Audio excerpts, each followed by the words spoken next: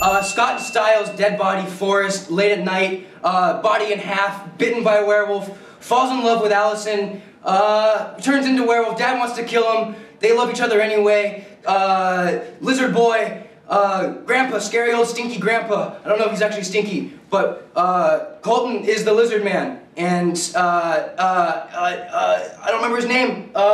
Stephen Lunsford controls him, and season three, Scott, Allison dies.